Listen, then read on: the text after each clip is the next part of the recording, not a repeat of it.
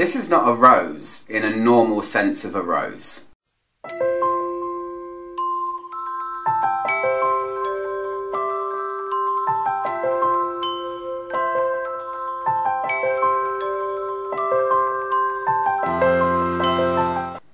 Hi guys, it's Mono. How's everyone doing? Good, good, good, I hope. Oh gosh, I have so wanted to do a Guerlain Guerlain review for a really long time. I have so many beautiful samples that were gifted to me by a lovely subscriber of mine, Peter, and I want to just kind of go through them because Guerlain are one of the best houses ever and one that I love reviewing. So today I wanted to review for you Rose Barbar. Rose Barbare. It's Barbarian Rose, a rose that's going to come and attack you when you just least expect it. So when Guerlain renovated their flagship store on the Champs-Élysées in 2005, they created three fragrances with three really famous noses to celebrate that fact. And they started this new line called La, uh, La, La Art et la Matière. It's the art and the material, material referencing the raw material and there were three at the time. There's now 11, so they have added more. But this one came out with Cuir Beluga and one called Angelique Noir, which I've never smelled. I think I may have a sample, I'm not sure. I'm swimming in samples, guys. And Rose has always been a favourite raw material or note of Guerlain as a house, so they created this one.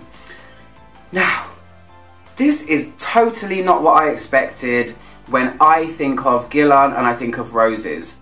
This thing is edgy and weird, and I don't know. I've tested it out a lot of times. I have these beautiful, almost 4 mil samples that they come in. I love them. You can really get to grips with the fragrance. So I want to review it, so I'm gonna. Yeah. They say that this can be worn by men. They say this is a rose that men can wear. It came out 2005 and it's essentially a chypre fragrance. But I'm thinking, can't all roses be worn by men?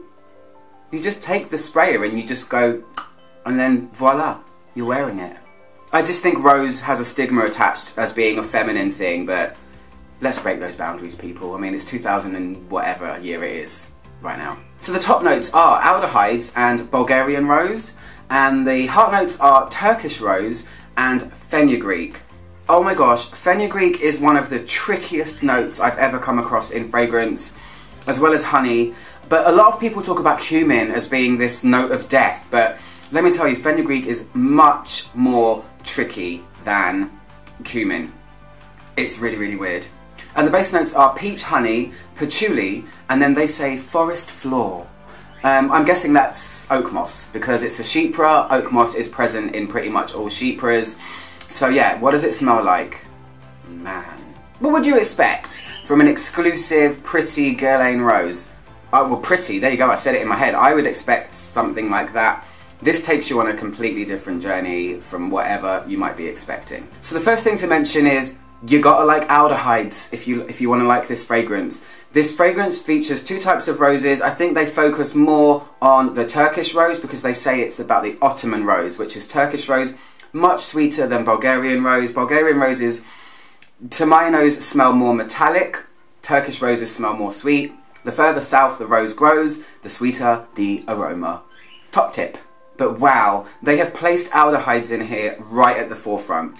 And the aldehydes in here are the type of aldehydes which, to me, make things smell muddy. There are a lot of aldehydes out there. There are aldehydes that smell like strawberries. There are aldehydes that smell like peach. There are aldehydes that smell like laundry. There is all different kinds. This is the classic aldehyde note that is present in Dior's Dune, that's present in one of my most favourite fragrances ever, which is Dolce & Gabbana's Red Cap. It's that aldehyde that I describe as, and this is going to sound really horrible, but I'm going to say it, that smells a little bit like dirty hair. Yeah, gross, I know, but that's what it gives me. The aldehydes overshadow the rose. I can feel the rose, but the rose in here is not one of a pretty, fluffy or jammy type feeling. It's actually quite a juicy one, but the aldehydes overshadow it so much that it's in the background, which makes it, to me, feel like a floral aldehyde as opposed to a chypre entirely. So the aldehydes really muddy up the rose. This isn't anything elegant, I wouldn't say. It's got an edge.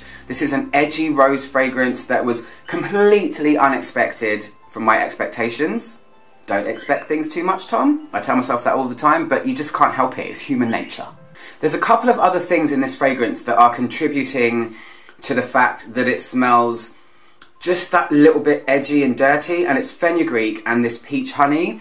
I wouldn't say that it feels super honey-like, but there's an element of honey in here and it's not the sweet pretty floral element. It's the kind of the dirtier edgier side of honey in fragrances paired together with this massive aldehydes and fenugreek just make it feel like a rose that's kind of trodden into a puddle kind of smell.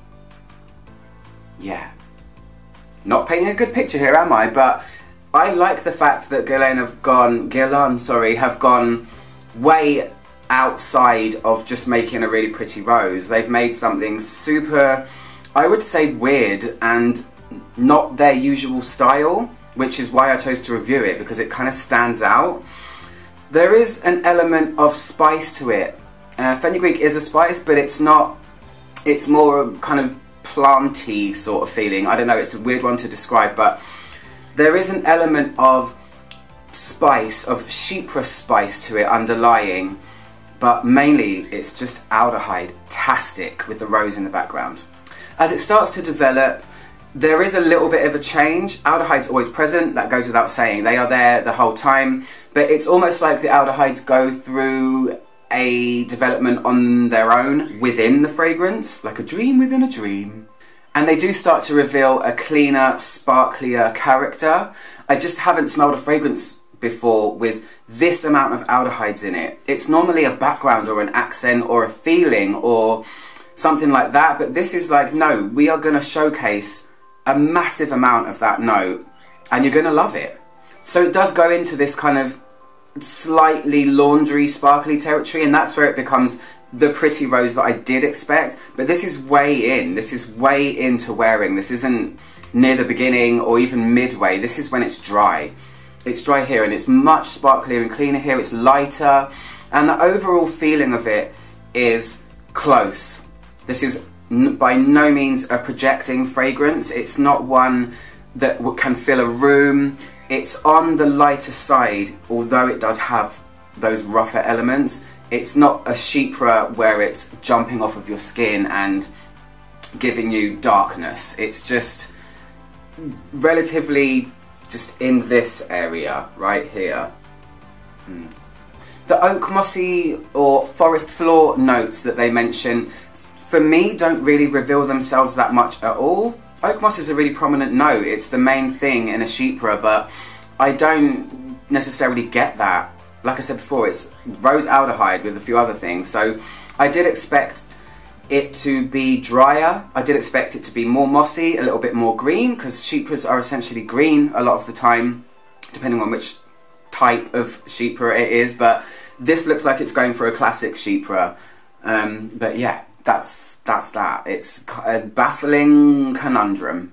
Longevity, not the best. Not gonna lie, I can't lie to you guys, it's not the best. The projection you can deal with if it's not the best because some fragrances aren't meant to project in that way.